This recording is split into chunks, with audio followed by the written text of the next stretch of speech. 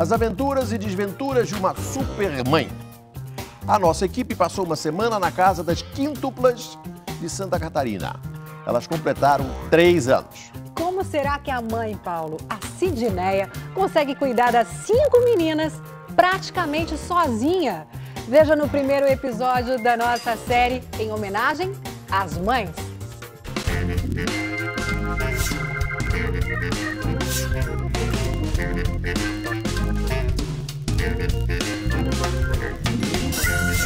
Nome dela é Sidneia Batista, mas essas meninas chamam ela de outro jeito. Mamãe Neia, olha essa aqui da mãe. Mamãe. Mamãe. O chamado vem das cinco filhas, gêmeas de três anos. É o tempo todo, às vezes, todas de uma vez. Mãe, essa amiga assistindo? Ô mãe, qual que tem? Na casa das seis mulheres, cada dia uma surpresa. Olha, minha mão tá indo Xuxa. Tem brincadeira, Achei você ali. tem briga, Contar pra Poliana. O que aconteceu? tem choro.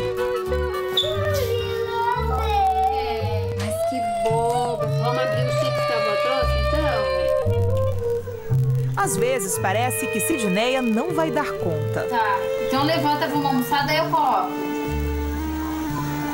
Ai. Cada dia é uma que não tá de acordo. Cuidar de um filho não é tarefa fácil. E de cinco, com a mesma idade. Só mesmo uma super mãe para dar conta de tudo isso.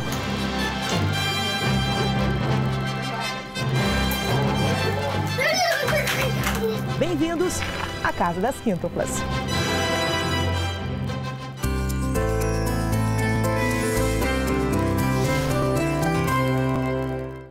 Sidneia e Gêmeas vivem em Braço do Norte, interior de Santa Catarina. Logo depois do nascimento das meninas, ela se separou do marido. Tem. Três. Anos. Para sustentar a família toda, a mãe recebe ajuda de um programa do governo do estado. O pai paga uma pensão. Ela teve de parar de trabalhar para cuidar das meninas, mas ainda faz bicos como fotógrafa. As gêmeas não são idênticas. São várias sensações ao mesmo tempo que a gente sente ser mãe delas, porque cada uma tem um jeito, cada uma tem uma personalidade diferente da outra. Vamos conhecer cada uma delas. Poliana. Poliana adora chamar atenção. Dela. Tá o tchu de verde. Isadora. Isadora evita confusão.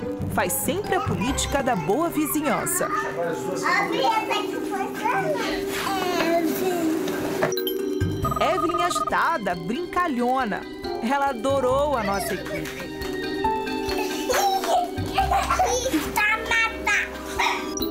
Samantha é extremamente vaidosa. Adora uma maquiagem, joias, presilhas. É. Falta espaço no cabelo. Elas não vão atender mais. É Vitória. Vitória tem personalidade forte, quer tudo do jeito dela e faz uma manha para tentar manter tudo organizado. A mãe criou uma regra básica: é uma de cada vez. Na hora de se arrumar para a escola,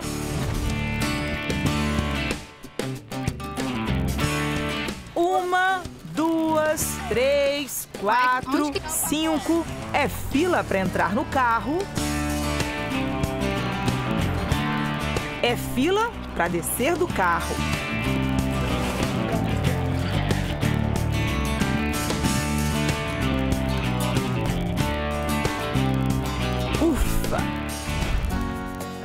Haja paciência. A mãe não quer ninguém chorando, Poli. E muito, muito carinho. Mais um beijinho, mais um beijinho. Aqui agora. né? Que ela tá grudada em você. É, aos poucos elas vão se soltando, elas vão mostrar as garrinhas delas. As outras três estão dormindo. Quando você tá brincando com as duas, com a Evelyn e com a Isadora, você escutou um barulho? Sim, alguém tá acordando. Você consegue escutar um barulho? Porque a gente não Sim. conseguiu escutar nada. Tô bem atenta. Já conheço o chorinho, quem chama, então... Vamos lá ver, vamos ver se acordou alguém. Dar conta dessa turminha, às vezes Sidney recebe uma ajuda para lá de especial. A avó Dona Nair.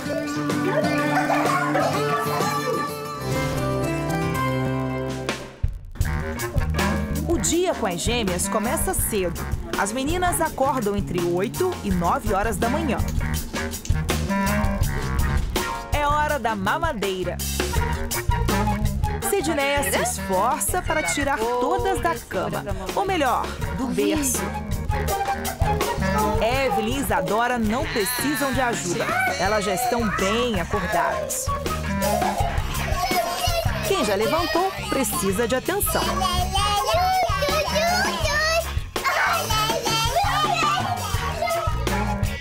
Vitória continua na cama. Não quer saber de conversa. A folhinha aqui, assim, Enquanto a Sidneia está brincando aqui com as filhas, olha só o que a avó das meninas está tentando fazer. Vamos aqui, ó. A Vitória continua dormindo, continua emburrada e a avó ela veio aqui tentar ver se consegue acordar a neta. Meu Deus do céu, tá brava. Não quer levantar. Ela não quer levantar? Não quer levantar, tá brava. O que, que ela disse para a senhora? Ficar mais um pouco aqui na cama. E como a senhora fica com esse temperamento dela? Tem que ter paciência, né? Tem que ter paciência e levar a vida. De repente, olha quem aparece na cozinha, toda emburrada. Por que a Vi tá brava?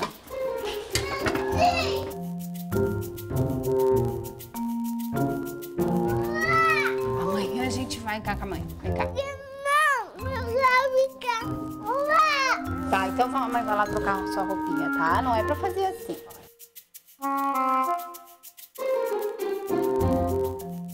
Vamos mostrar como é que é a cozinha, né? De cinco meninas gêmeas da mãe. Vamos ver como é que é?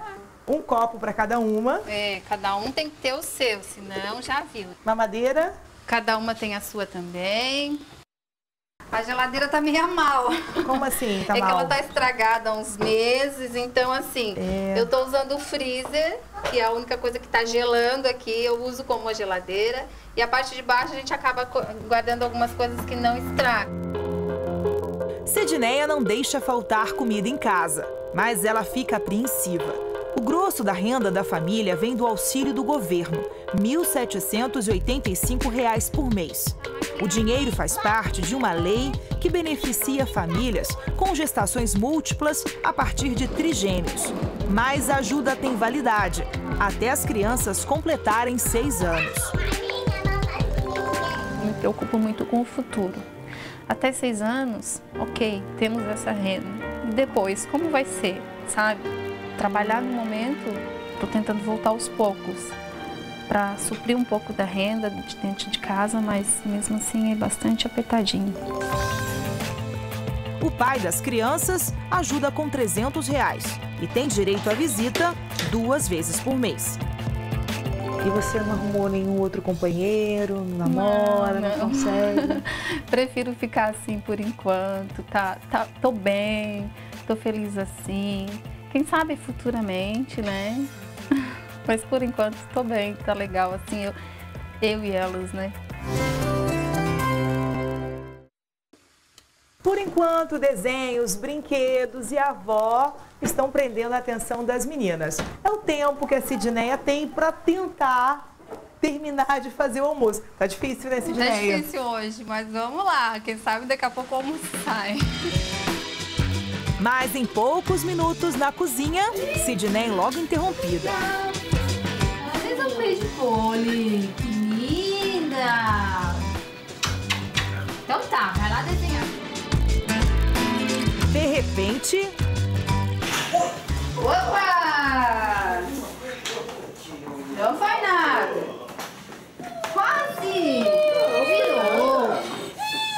De... Deixa a mãe ver. Não, mas nada. Evelyn está chorando. Caiu da bicicleta. Mas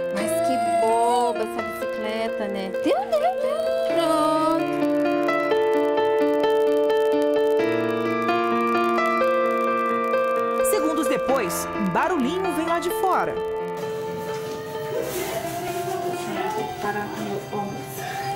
O que foi? O que, que aconteceu? O que foi? Vem cá, pegar o bico um pouquinho então. Vamos deitar lá no bebê? Quer sair da bicicleta? Andar bonitinha, não precisa chorar, tá? A Polly não bateu em ninguém, né, Polly? Não, né? Estão desenhando vocês? Por que que vai chorar? Sidneia, eu não consigo mais contar quantas vezes você parou de fazer o almoço. O que aconteceu dessa vez? Há uma intriga entre uma riscou na folha da outra, a outra bateu a bicicleta na, na outra, já virou uma confusão. Aí a gente tem que vir dar uma atençãozinha, resolver a situação, né? pra todo mundo ficar bem de novo. Vamos sentar lá na mesa. Quando o almoço finalmente fica pronto, surge um novo desafio: colocar todas na mesa. Samanta, Vi. Vamos tá? Vi. Ai, eu já comi. Tá. Mas vamos lá na mesa um pouquinho, só tomar um suco. Calma. Vamos lá almoçar. Tá bem cá hoje. É, a Vitória não quer saber de conversa. Você terminou de almoçar? Não. Então termina de almoçar, daí ganha. O que, que você está pedindo pra mãe? Um? Fala Hã? bem alto. Um batom. Um batom? E a comida tava boa? Como é que tava a comida? Você comeu tudo? Dia que dá vontade de jogar tudo pro alto. Mas aí eu olho pra elas, eu volto atrás e vejo que não é assim. Pede um pouquinho de calma. Mas você dá batomzinho? Já vou dar, tá? Você terminou de almoçar? Não. Pois é, então tem que terminar de almoçar pra ganhar o batom. Por que batom, batom? Então vai sentar lá na mesa que eu vou lá buscar, tá? Por que não eu quero junto com você? Então me dá um beijo. Então tá, mais um. Então tá, então eu vou lá buscar agora. tá? Qual é o sabor desse beijo, Sidneia? Delicioso. É? O presente do dia. Ah, tá, então vamos buscar um de cada. Durante sete anos, Sidneia tentou ficar grávida. Em 2008, o sonho virou realidade. Ela teve um menino, mas o bebê sofria de problemas cardíacos e morreu dois dias depois do parto. A nova chance veio em 2010, sem ajuda de inseminação artificial. A possibilidade de uma gestação espontânea de quíntuplos é coisa rara na medicina. Uma em 40 milhões. É como ganhar na Mega Sena. Você tá grávida. Ah, que bom. Então tá, vamos lá. Só que não é só de um bebê, né? Você já para. São cinco bebês. Aí o maior susto ainda, né? Mas aos poucos eu fui digerindo a ideia e já amando cada uma que estava dentro de mim, né?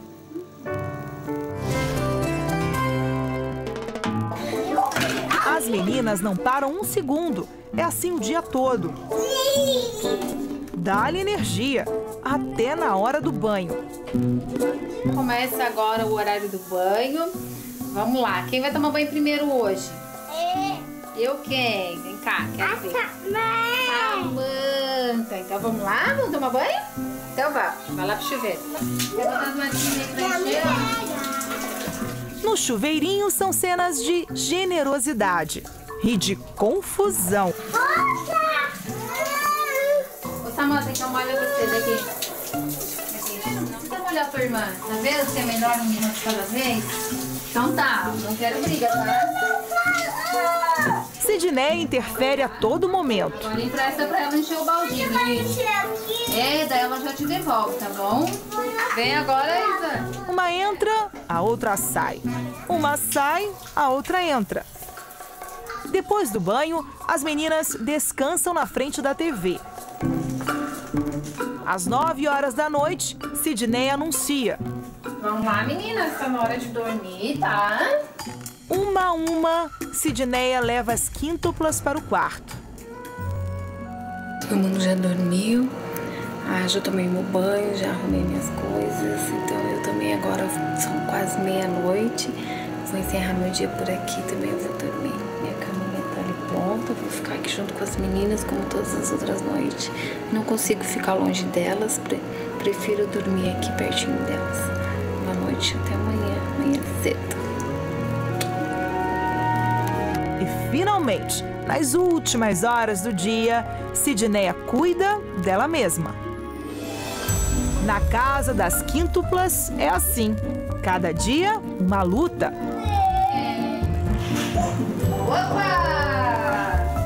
Cada luta, uma vitória.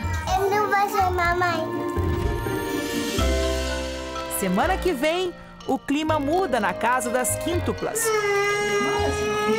E a preocupação toma conta de Sidneia. Cuidar de quem tá doente, não vou cuidar de quem tá com birra, tá? Olha que lindo! Faltam duas semanas para o Dia das Mães. Qual será a surpresa das gêmeas para Sidneia? Vamos lá? Vamos? Então vambora, vambora.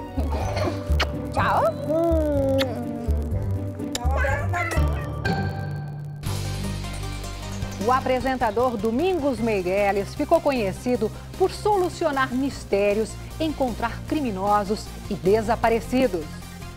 Dessa vez, nós é que fomos investigar a vida dele. Fomos saber quais são as paixões e também os segredos de um dos jornalistas mais conceituados do Brasil. Quem você procuraria para solucionar um mistério? Um desaparecimento? Um assassinato? Você faz o comando, eu mato ele, certo? Em quem você confiaria a sua vida? Até quando esse Brasil assim? Como seria ficar frente a frente com a pessoa que devolveu a sua família, que devolveu o seu sorriso? Quem é Domingos Meirelles? O pai? O amigo? Todo mundo emocionado. Todos nós, mas é normal. Somos, somos humanos, né? O protetor de animais? O jornalista? É o jornalismo que incomoda quem tem o que esconder.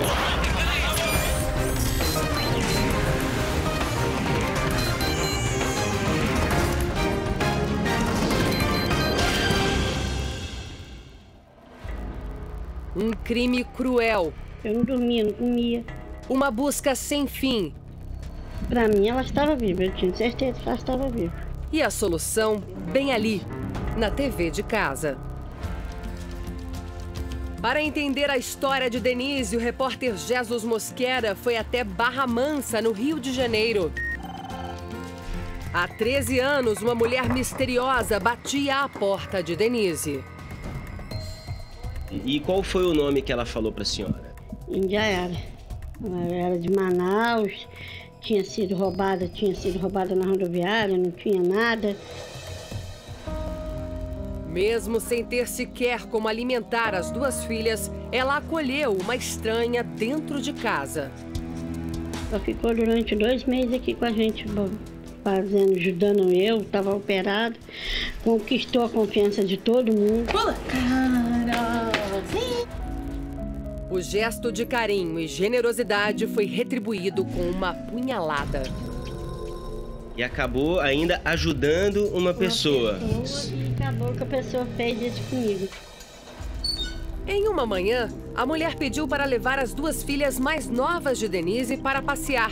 Um bebê de sete meses e uma menina de dois anos. Denise deixou. Lindy Anhara saiu para nunca mais voltar. Ah, Denise!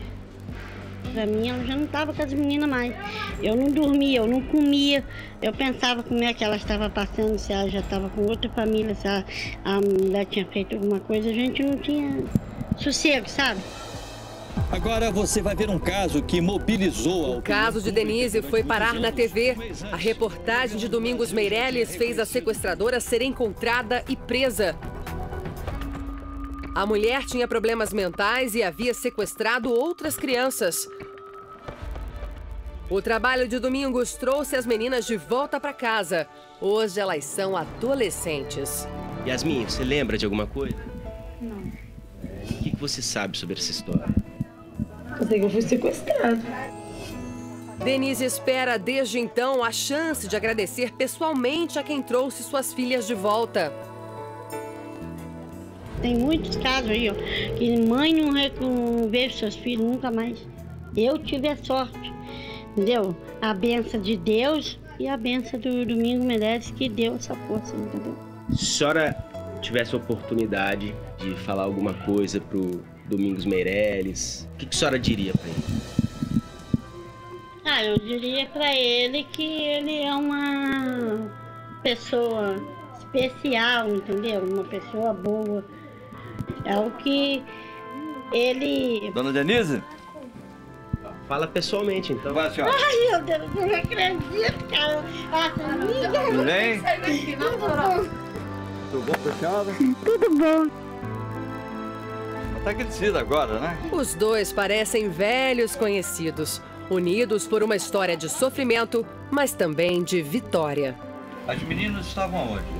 Lá em Santarém do Pará, perto da Bolívia. Ah, estavam lá em cima na fronteira já? É, ela foi parar lá. Eu me despedir da senhora. Não, mas ela vai? Não, se a senhora tiver um cafezinho, eu tomo um cafezinho. Tem um cafezinho? Pois então eu vou passar esse café delicioso. Isso, senhor. isso, isso. O homem com quase 50 anos de profissão não perdeu a sensibilidade. Ele vibra com as conquistas, se emociona com cada caso que ajudou a solucionar. Fica muito sensibilizado com a, com a, com a dor do, do, do- do seu semelhante, né? E também com a alegria, né? Quando ele eh, eh, sofre durante um período e de repente você consegue atenuar aquela dor. O cafezinho chega e Domingos se sente realmente em casa. Na casa, não só de uma telespectadora, mas de uma amiga. Na casa de uma família que só foi possível graças a ele.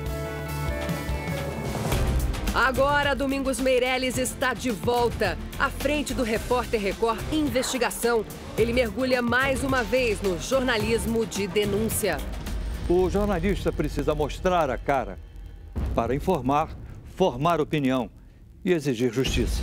Com ele, uma equipe de mais de 50 profissionais. O jornalismo que chega onde ninguém consegue chegar, que mostra o que nunca foi visto. O Domingos está chegando pela primeira vez na Record para gravar aqui o programa piloto. Eu acho que eu estou mais nervosa que ele, será? Talvez não. Domingos, bem-vindo a essa nova casa. Obrigado. Querido, que delícia poder te apresentar, Record. Você encontra um homem pintado de verde, que é o nosso Super Hulk. Dá bem-vindo pra ele. Ah! Ah, o Hulk não fala. Você vai deixar ele falar por você? Ah. B, C, D, E, F. Ah. Boa sorte. E hoje, no mesmo dia da gravação do primeiro programa do Domingos Meirelles, por coincidência, é o dia da coletiva de imprensa do programa da Sabrina. Ai, Ah, Domingos. Sorte, Obrigada, merece, obrigada. Obrigada. Você é uma rainha. Ah, tá? Domingos, Muito- eu sou sua fã. Faz uma foto minha com o Domingos. E Sabrina faz uma revelação. Já foi colega de Domingos. Ela era figurante. Eu já fiz figuração em linha direta. Ah! Eu era sempre a, a amiga do assassino, a amiga da assassina, da, da vítima.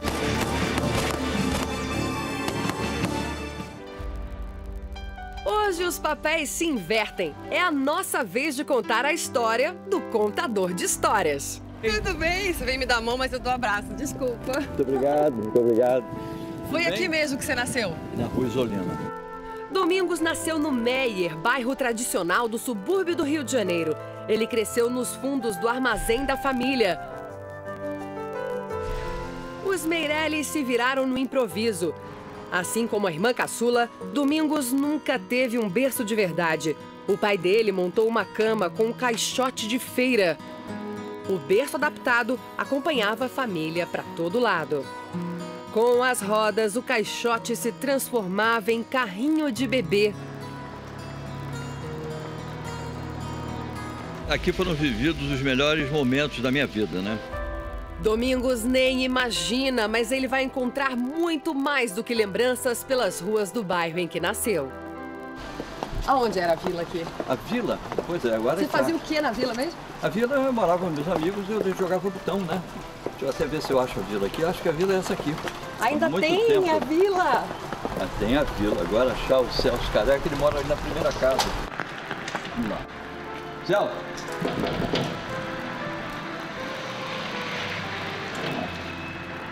E aí, Celso? Domingo! Prazer em revê-lo em minha residência. Surpresa! Bom, muito satisfeito. Domingos entra na casa do amigo de infância e encontra o time completo. Surpresa pra você, Domingos! Foi uma surpresa. Eu achava que o Celso não estava aqui. Eu podia ter uma emoção passando. Celso, Moisés e Marcos Vinícius não viam o amigo há mais de 40 anos. Eles acompanharam de longe, pela tela da TV, a trajetória do ilustre companheiro de futebol de botão. Uma história que enche os três de orgulho. Ele é o amigo mais famoso de vocês? É, e, e um dos melhores de bom caráter que eu conheci na minha vida. Excelentes pessoas, desde criança. Não fala que eu... Por que o senhor se emociona? Eu me emocionei porque, porra. Vocês se conhecem desde que nasceram? Nasceu é um pouco é, mais de é, porque 70 anos de amizade. Tá bom pra vocês? É. Você tá com o olho vermelho por quê? Não, eu Todo mundo emocionado. todos nós, mas é- mas é normal, somos somos humanos, né? Agora eu vou ter o privilégio de conhecer a casa do Domingos Meirelles. E eu soube que você adora gato. É, eles foram aparecendo, né? Tem algum gato aí hoje? Tem um, um tá para ter alta, esse foi atropelado. Domingos começou a cuidar de gatos de rua há um ano e meio. Na vizinhança, já é regra. Encontrou um bichano ferido, leva para o hospital do Domingos Meirelles. Outros seis pacientes já passaram por aqui. Isso tá com colar cervical. É, é. Mas ele já tá curado? Não, ele- o olho dele foi costurado, né? É, ele fez uma cirurgia na boca, né? E ficou internado mais ou menos uns 10 dias. Este gato foi o primeiro. Domingos recolheu o animal no ano passado. Ele foi atropelado. O bichinho passou por uma série de cirurgias de reconstrução facial. E hoje é o grande dia. Ele vai levar ele agora pro veterinário para tirar o colar cervical e ver se ele já tá conseguindo enxergar o gatinho. é que ele Você botou o nome nele, Domingos? É Sem nome, né? Na verdade, ele não tem nome. Olha como eles são realmente espertos, né? Ele ele está escondido em algum lugar aqui. O gato dá um baile no pai adotivo. Tá ali em cima do sapato. Calma. Deita aí. Calma. Calma, seu. Você já foi mordido, Domingos? Não, não. Eles me respeitam. No caminho para o veterinário, Domingos conta como nasceu esse amor todo pelos animais. Eu, às vezes, é, é, me lembro, né? Sonho, né? Simplesmente sonho, né? Eu e a minha irmã, de manhã, à procura dos gatos no, no mato, né? Porque a minha mãe não queria. É mais um problema, né? Ô, gatinho, ele veio miando o caminho inteiro. Olá, tudo bem? As veterinárias da clínica já esperam por Domingos. Essas são as heroínas que salvaram o gatinho? As visitas deles são rotina. Tem gente que ama cachorro e fala que é cachorreira. Então quem gosta de gato é gateiro, é isso? É gateiro. Ele é gateiro? Ele é gateiro. Ele é gateiro. Pega os gatos dos vizinhos também pra trazer aqui pra tratar. Cuida de todo mundo. Cuida de Tem um bom coração. Bom, ai, todo mundo que eu entrevistei falou que ele tem um bom coração. Ele age como se fosse mais um dos passageiros da barca e não um, uma, uma, figura da televisão brasileira. Entendeu? Eu acho que ele nunca deu autógrafo na vida dele, porque ele, ele é um, um, cidadão brasileiro, assim, passa essa impressão. A dedicação do pai zeloso fez toda a diferença. Doutora, quero saber se ele está de alta. Ele está de alta. Ah, é? Tá, seis meses depois. É, não, é seis meses depois. Para o gatinho sem nome, mas com uma baita sorte, uma nova vida começa agora. Ô gatinho, você tá de alta. Vamos? Vamos, gatinho, vamos? Vamos sem nome, que você deu sorte, hein? Seu dono agora é o Domingos Meirelles. Ao longo dos quase 50 anos de carreira, Domingos levou para casa os maiores prêmios do jornalismo brasileiro. Com a matéria para uma grande revista sobre as fraudes do Detran do Rio de Janeiro, ganhou o prêmio ESSO. Na TV, o trabalho de denúncia e investigação foi reconhecido com o prêmio Vladimir Herzog. Os donos da casa foram fuzilados logo na entrada, aqui na cozinha. Domingos Meirelles é uma pessoa que eu reverencio como um premiado jornalista, um premiado escritor que relatou, que acompanhou os fatos mais marcantes desse Brasil nos últimos 50 anos. Uau! Na biblioteca, o cantinho favorito da casa, ele se dedica a outra paixão. Já são dois livros publicados e mais dois prêmios nas prateleiras. Esse foi o primeiro, né? É um livro sobre a rebelião da Força Pública de São Paulo. Prêmio Jabuti. E o outro é a continuação dessa história, né? Eu quero saber se aqui é você e seu filho. Eu sou eu e meu filho. Você é. no lançamento do livro. O segundo livro, né? Você se acha galã, Domingos? Não, imagina. eu falei que eu ia gravar com ele, a mãe, nossa, eu achei ele bonitão. você não se acha, não? Não, não. Ó, oh, mas aqui você tá galã nessa foto, não, nessa. É. Aqui não é você, é seu filho. Não, é meu filho. Ah, também é galã. É, ele tem mais de galã do que eu, né? Tem, assim, um carinho muito grande por ele e também um sentimento de culpa, né? Porque eu, é, eu não o vi crescer. Eu viajei a, vida inteira, né? E ele foi crescendo sem a, presença do pai, né? Eu fico pensando, né, se eu não deveria ter dado um pouco mais de atenção a ele, né? Mas é o trabalho ou uma vida, né? É muito complicado isso. Hoje, Domingos e João Eduardo são muito próximos. Separado há 12 anos, o jornalista divide a casa com o filho, e para homenagear o pai, João preparou uma surpresa. Pai, você sempre foi uma inspiração para mim. Como será que Domingos vai reagir à homenagem do filho? Domingos avalia as chamadas do repórter Record em investigação. Ficou muito boa, né? Curta. Acho que tem mais uma, vamos ver. Pai, você sempre foi uma inspiração para mim. Em tudo. Meu filho. Domingos leva um susto. O experiente jornalista fica, pela primeira vez, sem palavras. Cheguei a tentar repetir os seus passos no jornalismo. Olha só que audácia a minha. Mas vi logo que jamais alcançaria o seu brilhantismo e resolvi fazer direito. Só que ainda hoje eu me pergunto: como será que eu me sairia como repórter? Como seria se tivesse seguido o seu caminho? Bom, pai, falar sobre você para mim é motivo de muito orgulho. Só eu sei as dificuldades que você passou. Você é uma pessoa assim muito é, persistente. É, você é uma pessoa muito simples, muito humilde. E eu desejo sorte para você nessa sua nova trajetória agora na Record. Eu amo muito você, pai. Surpresa! E não parou por aí, não. Olha só quem tá aqui. De uma visita ilustre do filho do Domingos Meirelles. Vou ligar pro Eduardo para dizer a ele que, que vi a chamada e que fiquei muito comovido. Para estes dois jornalistas, nem todas as palavras do mundo são capazes de expressar o que eles só conseguem dizer assim, com um abraço. Sobram motivos para se emocionar. Pela amizade que nasceu do trabalho. Sem ele, eu não estaria com as minhas filhas hoje aqui. Pelo reencontro depois de tantos anos. Nem revê-los, nem a residência.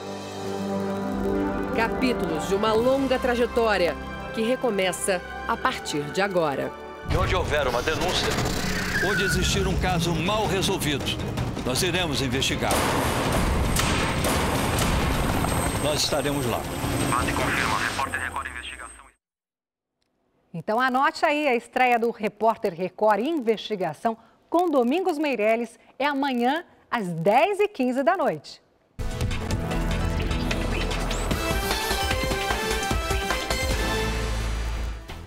Revelações sobre o caso Bernardo.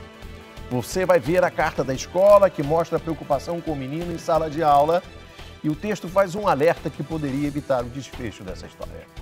Outra novidade é a informação de que o pai pediu a abertura do inventário da mãe de Bernardo em janeiro. O menino era o herdeiro de boa parte dos bens, tanto do pai quanto da madrasta. A polícia ainda investiga se o dinheiro foi o motivo do crime. Presídio Estadual de Três Passos, Rio Grande do Sul. Aqui estão presos os três suspeitos da morte do menino Bernardo. São eles o pai do garoto, o médico Leandro Boldrini, a madrasta, a enfermeira Graciele Ugolini e uma amiga dela, a assistente social Edelvânia Virganovics. O Domingo Espetacular visita a cidade de 20 mil habitantes em busca de respostas. Quais foram os reais motivos da morte de Bernardo? Dinheiro? Ciúmes? O pai do garoto teve mesmo envolvimento no caso? Do lado de fora da prisão encontramos o tio de Bernardo. Paulo Boldrini é irmão de Leandro, o pai do menino. Paulo veio aqui para tentar falar com o irmão, mas Leandro não pode receber visitas. Paulo está muito abalado. Numa conversa informal, ele defendeu Leandro e culpou a madrasta. No resumo da história é o seguinte, o Leandro entrou numa gelada com essa aí. Porque ela fez motivos, não sei, de coisas, não sei, mas ela, ela fez. Ela fez e, e, e, sem que ele soubesse, porque ela disse que ela não, ele não sabia das histórias. Porque ela estava planejando sozinho para fazer para não ser descoberto. Mas a polícia não tem dúvidas de que o pai de Bernardo está envolvido no crime. Eu não vou entrar em detalhes porque a investigação vai ser atrapalhada se eu entrar em detalhes. Já foi atrapalhada bastante por outros vazamentos que deram. O corpo de Bernardo foi encontrado neste matagal, na cidade de Frederico Westphalen, a 80 quilômetros de Três Passos. Estava num saco plástico dentro de uma cova. O cadáver foi localizado dez dias após o desaparecimento. A polícia descobriu o corpo quando Edelvânia, a amiga da madrasta, acusada de ser cúmplice, indicou o local. O tio do menino lembra como foram as buscas ao garoto. Nós pensamos que tinha fugido, podia ter fugido, mas fugido porque nunca fugiu. Nunca fugiu. Essa era uma hipótese muito remota. Qual era a maior Vamos hipótese para vocês? Ah, sequestro, por dinheiro, ou sei lá por quê. Ah, existe roubo de pessoas para roubo de órgãos. O irmão de Leandro diz que a madrasta sugeria locais para a procura de Bernardo, lugares distantes do ponto onde o corpo foi encontrado. Dava, dizia, pode estar em tal lugar, pode estar em tal lugar, pode estar em talzinho. Tá. Não, não, vai lá, vai aqui, quem sabe. Tipo atriz. Foi a madrasta Graciele quem levou o Bernardo até a cidade de Frederico Westphalen. No caminho, ela foi parada por excesso de velocidade. O guarda que aplicou a multa viu Bernardo no banco de trás. Durante o depoimento à polícia, Graciele chamou a atenção pela frieza. Ela agiu de forma normal, de forma normal. Não chorou, não, não, mas eu não posso Não te dizer. teve remorso, né? Não demonstrou. No dia do crime, Graciele se encontrou com a amiga Edelvânia. As câmeras de segurança deste posto registraram tudo. Graciele estava acompanhada do menino Bernardo. E aí o que aconteceu? Os três entraram no carro de Edelvânia e saíram. Uma hora e meia depois, apenas duas pessoas retornaram: Graciele e Edelvânia. Dos três acusados, Edelvânia é a única que confessou o crime. Bernardo teria morrido pela aplicação de uma injeção letal. No primeiro depoimento à polícia, a amiga da madrasta disse que o menino poderia estar vivo ao ser enterrado em Frederico Westphalen.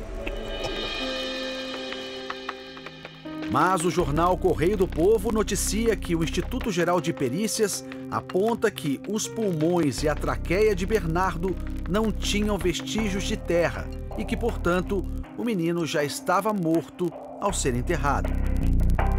Depois da morte de Bernardo e antes de voltar a Três Passos, a madrasta comprou uma TV nesta loja de Frederico Westphalen. Ela estava sozinha. O tio de Bernardo estranhou a atitude da cunhada. Naquela compra de TV lá, numa sexta-feira, que foi o dia do desaparecimento, eu questionei ela por que, por que você foi comprar TV lá, coisa. Tá todo mundo desconfiado disso, você desapareceu na sexta, você saiu, foi pra... Eu fui comprar lá, porque eu fui comprar lá. Oh, beleza. Já me invoquei, me deu vontade de dizer, ó, me deu, eu não falei, mas deu, me deu vontade de dizer, caramba, eu, se você começar a me sair assim, eu vou começar a desconfiar que foi tu mas eu nem falei. O funcionário do posto de gasolina se lembra que Edelvânia, amiga da madrasta, voltou ao local depois da morte de Bernardo. Mais tarde, a, a Edilvânia voltou no seu carro, abriu as portas traseiras e o porta-mala e tirou vários sacos de lixo. Colocou esses sacos naquele tonel que tem em frente ao apartamento dela. Voltou no carro, fechou a porta e subiu. Mais tarde, voltou de novo no carro dela, abriu o porta-malas e tirou, uh, eu acho que um, um cabo, uma enxada, um, alguma coisa assim nesse sentido, e subiu para o apartamento. Polícia encontrou uma pá e uma enxada na casa da mãe de Edelvânia, que mora perto do matagal onde o corpo de Bernardo foi encontrado. Edelvânia disse à polícia que ajudou a matar Bernardo por dinheiro Dias após a primeira confissão, Edelvânia negou participação direta na morte, mas admitiu que ajudou a esconder o corpo de Bernardo. Ela disse que ela sofreu uma, uma pressão psicológica muito grande da outra, que quando ela viu um menino morto, ela não sabia o que fazer, e a outra teria pressionado ela para participar da ocultação com ameaças. Então a Edelvânia se sentiu, ficou em choque e ficou submissa naquele momento ali, passou a obedecer às ordens da outra de executar a ocultação. O advogado de Graciele disse que a madrasta está abalada. Vanderlei Pompeu de Matos não nega a eventual participação da cliente no assassinato de Bernardo. Tentei conversar com ela, vi que ela não conseguia uh, corresponder ao diálogo mas vamos analisar e ver o que, que tem de prova e se ela tem alguma coisa a declarar para a sociedade também quanto a seu eventual ou envolvimento no fato. A delegada responsável já ouviu dezenas de pessoas. Os depoimentos confirmam o abandono de Bernardo por parte do pai e da madrasta e os maus tratos que o menino sofria em casa. Um dos depoimentos mais chocantes foi o da ex-babá. A Elaine ficou quase dois anos como babá do Bernardo. Isso quando a mãe dele ainda era viva, né, Elaine? Uhum. Como é que era a relação do Bernardo com o pai, com o Leandro e com a mãe? Com o pai era ótimo, né? Eles brincavam, e quando ele estava em casa, eles brincavam. Com a Odi também. O Bernardo era uma criança alegre, alegre. A mulher que a babá chama de Odi é Odilaine Uglione, a mãe de Bernardo. E depois que a mãe dele morreu e a Graciele assumiu o lugar dela? Daí começou os problemas. Bernardo começou a ficar triste, começou a ficar batido. Bernardo contou para a ex-babá que a madrasta tentou sufocá-lo com o travesseiro. Ele acordou naquela agonia, naquele susto, e daí então ele, ele relatou que ela estava na frente dele parado, né? E Quando ele questionou ela, perguntou para ela o que estava acontecendo, o que, que tinha acontecido, ela disse que ela tinha vindo fechar a janela do quarto dele, né? E daí então ele disse que quando ele olhou para ela, ele viu ela com o travesseiro na mão. Daí eu disse, tu falou isso pro pai? Ele disse, não, Elaine, o pai está num congresso. E o pai dele estava no congresso, né? Daí eu disse, ó, Bê, tu te cuida, eu disse para ele. Na época, a ex-babá avisou a avó materna de Bernardo. Dona Jussara, que está internada com problemas no coração, chegou a tentar em vão a guarda do neto. A morte da mãe de Bernardo aconteceu há quatro anos. Segundo a investigação do caso, Odilaine cometeu suicídio dentro da clínica do marido. Há relatos de que ela não aceitava o divórcio. No dia da morte, ligou para Dona Jussara, disse que o marido tinha uma amante e falou sobre a partilha de bens. Tinha conversado com a mãe um pouco antes, pela parte da manhã, e tinha exposto as circunstâncias de um, da separação, formas e ou valores que poderiam ser distribuídos sob a forma de pensão alimentícia e também referiu, inclusive, quanto a valores. A época, a época, isto é verdade, 1 milhão e 500 mil que seria ela indenizada a título de partilha de bens. A mãe de Bernardo também havia pedido uma pensão de 8 mil reais. Logo após a morte de Odilane, Leandro se casou com Graciele. Os dois tiveram um segundo filho, uma menina que hoje está com um ano e meio. Leandro é um cirurgião bem-sucedido. O patrimônio inclui uma clínica médica, carros de luxo e duas propriedades. O irmão dele acha que o dinheiro não foi a motivação do crime. Não sei o que se passa na cabeça dela, mas a princípio eh, eu acho assim que foi essa para se ver livre, para viver uma vida tranquila com o Leandro. Esta semana a justiça bloqueou os bens do médico. Leandro está proibido de fazer movimentações financeiras e de vender propriedades. Pelos números do divórcio de quatro anos atrás, o patrimônio de Leandro chega a 3 milhões de reais. A estratégia da defesa é mostrar que Leandro era um homem ocupado, mas que nunca abandonou o filho. O advogado quer pedir a liberdade do cliente. Nós temos já a comprovação de que havia contato diário, muitos contatos diários por telefone, então as contas telefônicas revelam isso. Depoimentos de pessoas mostrando a boa relação de pai e filho naquelas questões mais simples do cotidiano de, de uma família, como pescarias, eh, jogos de futebol, eh, passeios. Então, assim, eh, fica muito evidente que foi criado pela autoridade policial um, uma, uma imagem que não condiz efetivamente com a realidade. A delegada discorda e cita esta foto de uma atividade na escola. Aqui todos os alunos estão no colo dos pais. Leandro está ao fundo, distante do filho Bernardo. Dele eu percebi claramente uma pessoa fria. Isso eu já falei, referi várias vezes desde o início que me causou espanto a, a forma fria como ele tratou o caso desde o início. Esta carta que o Domingo Espetacular exibe com exclusividade faz parte do processo. O documento enviado pela escola ao Conselho Tutelar faz um alerta que poderia ter mudado o destino do garoto. A carta é de novembro passado. A direção da escola diz que o menino tem se mostrado bastante inquieto, desinteressado, desatento e indisciplinado. O documento informa que Bernardo perturbava as aulas e os colegas e que havia sido encaminhado várias vezes para conversas com a coordenação da escola. Ele acabava reconhecendo os erros e pedindo desculpas. Bernardo procurou a justiça para reclamar do pai em janeiro. O menino foi sozinho ao Fórum de Três Passos. A promotora Dinamárcia de Oliveira conta o que ouviu do menino. Eu acho até que talvez ele não goste de mim porque ele não, ele não me dá atenção. Então eu prefiro ir para uma casa onde eu tenha atenção.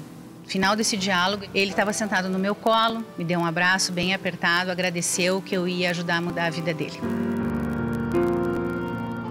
Leandro foi intimado a prestar esclarecimentos, mas Bernardo concordou, na frente da promotora e do juiz, em dar uma nova chance ao pai.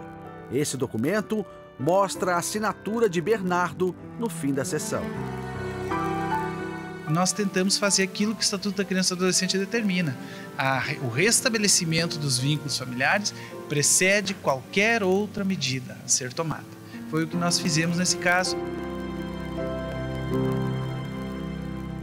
Quinta-feira, dia 3 de abril.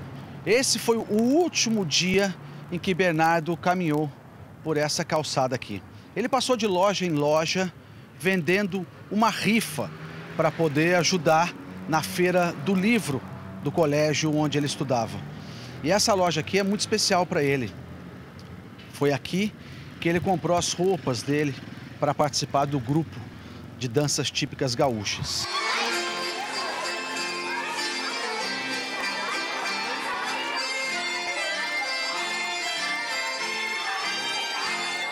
Ele gostava muito de dança. Né? Gostava muito da tradição gaúcha, né? E ele participava, acho que, de um grupo de danças do Colégio Piranga. A cidade está em luto, né? Por tudo está em luto. Estamos todos estarrecidos.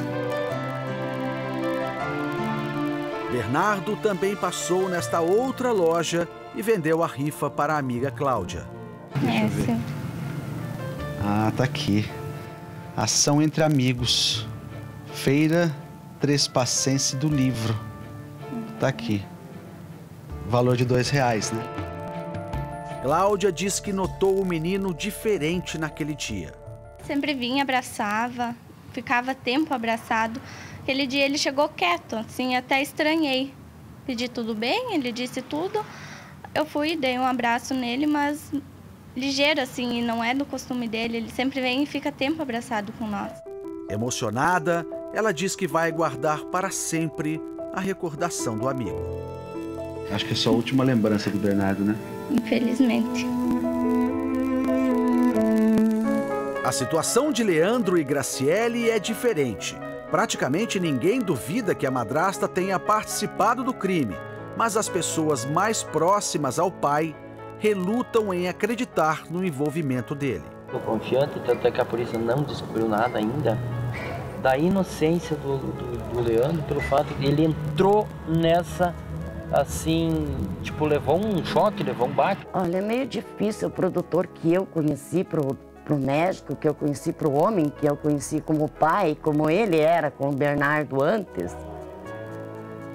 Eu não sei, mas é a minha opinião, eu não sei, eu não consigo, eu não consigo acreditar que esse homem esteja metido junto. Se ele tiver, ele, ele se transformou num monstro. Dias atrás, a justiça tomou uma nova decisão em relação ao casal preso no presídio de Três Passos. Graciele e Leandro perderam a guarda da filha de um ano e meio. Exclusivo, saiu a condenação dos assassinos do jornalista Celso Mazieri, dois meses depois. Os quatro acusados são menores e vão ficar presos por três anos. O Domingo Espetacular teve acesso ao depoimento do jovem que confessou o crime. Ele revelou o motivo e contou como planejou tudo nos mínimos detalhes. Um crime frio e premeditado.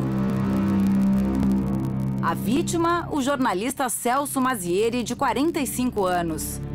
Uma dor que eu tenho aqui no peito. Parece que arrancaram um pedaço do meu peito. Tá sangrando, viu?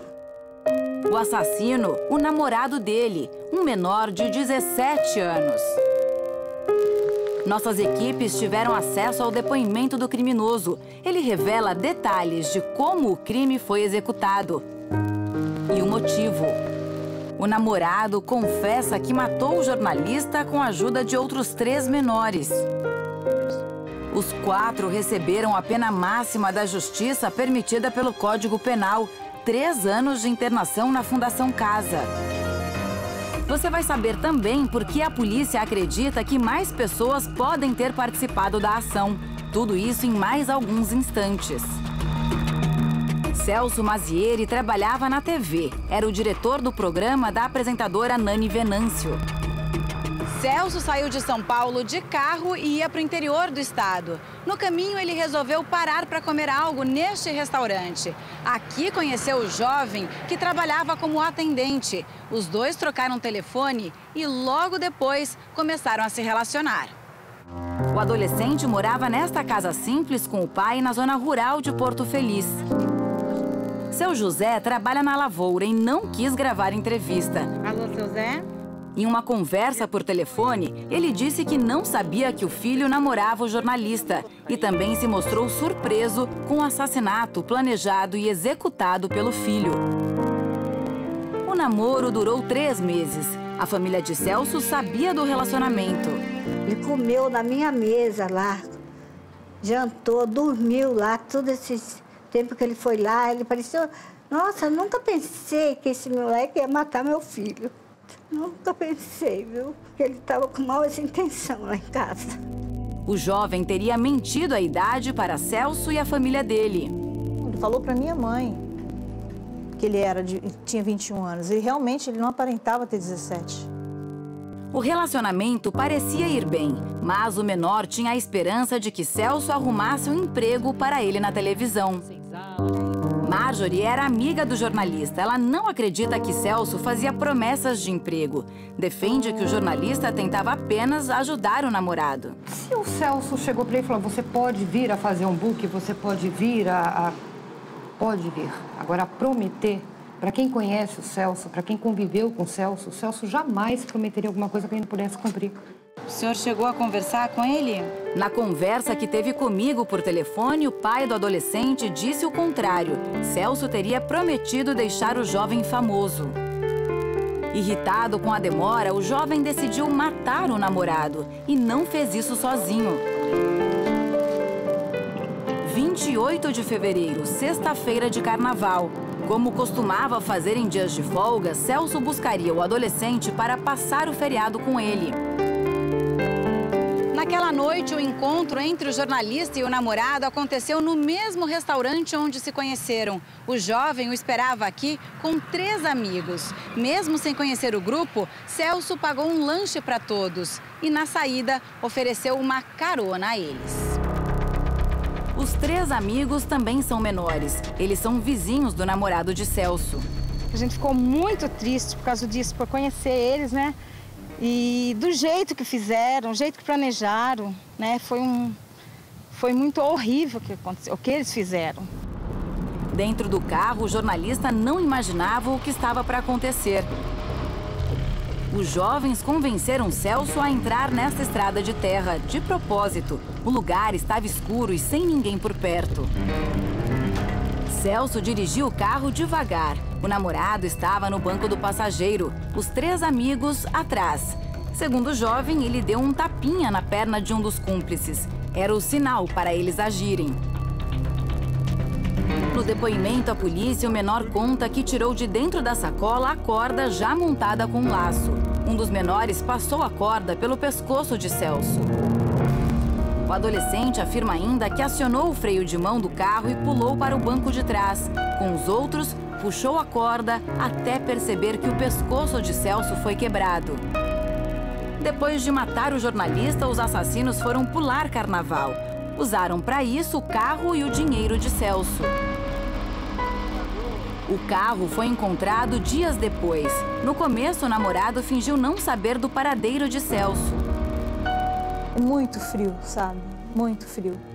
Ele contou para mim assim, sabe, uma história que para ele era verdade, mas eu como irmã não acreditei desde o começo, sabe? Eu sabia que tinha alguma coisa errada. Nossa, é, é muito, é muita revolta, sabe? Você saber que você estava de frente do assassino do seu irmão e aquela frieza toda, aquela mentira toda, é, foi terrível. Corpo do jornalista foi encontrado neste canavial que fica a poucos quilômetros da casa onde o adolescente morava com o pai. Celso foi localizado cinco dias após o desaparecimento, depois da confissão do jovem. Meu filho tão querido, tão alegre cuidava de mim. Por que, que esse cara foi fazer isso? Entrou na minha casa para fazer essa maldade. Com meu filho. Antes de confessar, o menor deu entrevistas em que dizia não saber o que aconteceu. Fomos pro baile da espuma e estava combinado para ele esperar na hora da saída, que acaba o baile umas 5h30, umas 5h20 era para estar esperando lá. Ele não apareceu na frente do baile para pegar a gente. Os quatro envolvidos confessaram. No depoimento a que o Domingo Espetacular teve acesso com exclusividade, o namorado de Celso conta com detalhes como e por que resolveu matar o jornalista.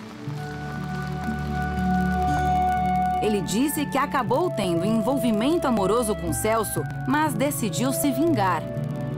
O motivo? O jornalista sempre dizia que arrumaria serviço a ele em agências, o que não acontecia. A polícia acredita que mais gente participou do crime. Os suspeitos seriam maiores de idade. Não teriam executado Celso, mas ajudado no planejamento da ação. Eles teriam uh, participado com um namorado, tá, de, de, idealizado o crime e uh, como seria feito, ficado o produto desse crime, o carro. Tá? Então eles idealizaram a morte do Celso e após o que seria feito com o carro e que cada um receberia um percentual. Na verdade, o carro seria vendido. Seria vendido. Essas pessoas ainda estão livres. Os quatro menores estão internados na Fundação Casa, onde devem permanecer por três anos. A família do jornalista morto não se conforma com isso e defende mudança na lei da maioridade penal. Ele está sendo julgado é, pela idade dele. Agora ninguém está ele, ninguém tá pondo ele, julgando ele pelo assassinato dele, entendeu? Porque isso aí é um crime cruel. Ele fez coisa pior que uma pessoa de já maior de idade, entendeu? Então ele tem que ser julgado pela pelo crime dele, não pela idade dele. Isso não existe, isso aí tem que acabar. Uma pessoa dessa aí que cometeu um crime desse aí tem que apodrecer na cadeia. Dona Júlia vai guardar uma lembrança de Celso. Uma semana antes do crime, ela foi com o filho e alguns familiares à praia. Não parecia, mas era uma despedida.